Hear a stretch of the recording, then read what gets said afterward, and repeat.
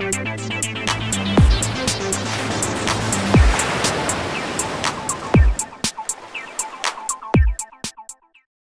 the first part of this tutorial, we illustrated how to radiometrically calibrate an ocean optics spectrometer and SpectraSuite for applications that will utilize an integrating sphere.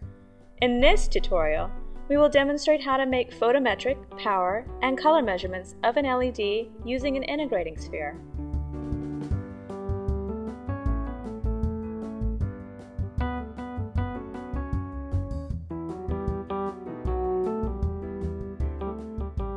This tutorial assumes that you have already installed the drivers for your spectrometer and have SpectraSuite installed on your computer. If not, please log on to oceanoptics.com and download the tutorial for getting SpectraSuite up and running on your PC.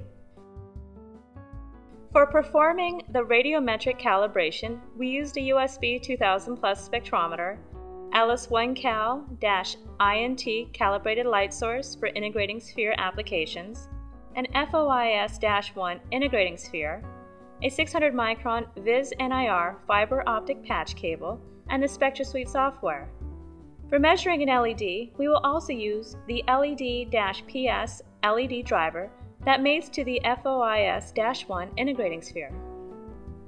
Once your system has been calibrated, you do not need to recalibrate the system each time you wish to take a measurement, provided you have not removed the fiber from either the spectrometer or the integrating sphere, and you do not drastically disturb the orientation of the fiber.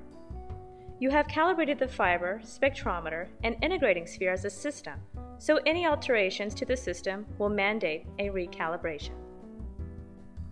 First, you should connect the power to the LED-PS. Insert a standard 5mm LED and turn it on by flipping the toggle switch to the on position.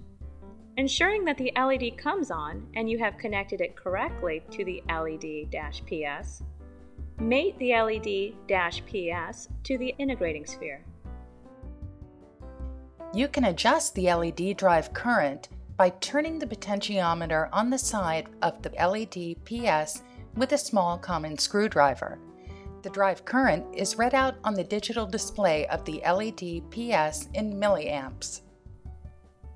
Make sure that the USB cable is connected to the spectrometer and the USB port on RPC. This completes the setup. Now that the setup is connected, start up the SpectraSuite software. You should be greeted with the SpectraSuite interface showing a picture of your spectrometer and the data sources pane. To begin the absolute irradiance measurement, click on File, New, New Absolute Irradiance Measurement in the menu. You will see the Absolute Irradiance Setup dialog box appear. Select New Spectral Acquisition and click Next. Make sure that your spectrometer is highlighted, indicating that this is the source of spectral data, and click Next. Since in the first part of this tutorial we have already radiometrically calibrated our system, we select Get Irradiance Calibration from File and click Next. Browse to the location of the calibration file you saved during the radiometric calibration. Select this file and click Next. On the next screen, select the option Use Integrating Sphere and click Next. Clicking the Set Automatically button lets the software select the best integration time for your experiment. You may have to click this button more than once to get the last peak value and recommended peak value text boxes to both turn black, indicating that the software has chosen an appropriate value of the integration time. Add any averaging and boxcar smoothing in this window and click Next. Turn off the LED-PS by flipping the toggle switch to the off position and click the gray light bulb button to store the dark spectrum. After you have stored the dark, you can turn the LED-PS back on by flipping the toggle switch and click Finish. In the main SpectraSuite window, you see a graph of the calibration light source with radiant flux in microwatts per nanometer on the y-axis and wavelength in nanometers on the x-axis. You may have to click Scale Graph to fill window to see the entire spectrum. SpectraSuite can automatically compute certain parameters of light sources in terms of energy, power, and photons over the entire spectral range of the spectrometer or over a range specified by the user. To access these values, click the icon New Energy, Power, Photons atop the spectrum graph. In the Energy, Power, Photons dialog box, you will see your spectrometer highlighted as a spectral source. You will also see two text boxes for setting the integration options. In this example, I will choose to integrate the white LED spectrum from 400 to 800 nanometers. There is also a drop-down menu for choosing the integration method.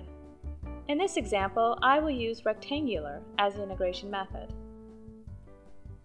Clicking Accept, you will see the energy, power, photons chart appear in the SpectraSuite main window. This chart lists the serial number of the spectral source, the limits of integration and method you specified, and the various parameters computed by SpectraSuite. To save this chart of value, simply click Log in the menu and select the directory you want the value saved and click Open. SpectraSuite can also compute various photometric quantities from the absolute irradiance measurement.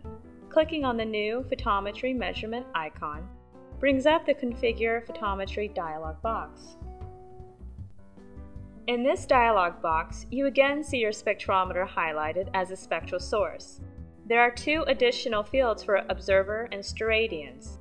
Choosing the 2 degree or 10 degree observer changes the luminous efficiency function applied to the irradiance spectrum to correspond to photopic and scotopic responses of the human eye. The luminous efficiency function is plotted in the Graph tab under Observer Information for your reference. Since we are measuring an LED, by inserting it into an integrating sphere, we can leave the steradians value at the default 1.0 value as the software will automatically change it to the 4 pi steradians value. Clicking Accept brings up the photometry chart in the main SpectraSuite window. Just as in the energy, power, photons chart, the spectral source is listed along with the parameters you specified. Also, the values computed by SpectraSuite, such as lux and lumens, are listed in the chart. To save this chart of values, simply click Log in the menu and select the directory you want the value saved and click Open. Another feature of SpectraSuite of interest to this application is color measurement. To compute the colorimetric values of the LED, click on the color measurement icon in the Data Display toolbar.